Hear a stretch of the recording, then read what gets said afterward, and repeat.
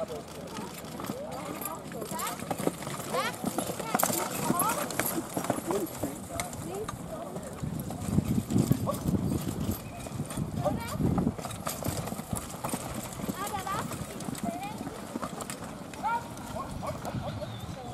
das einmal aus der Schweiz unterwegs im Hindernis Nummer 5.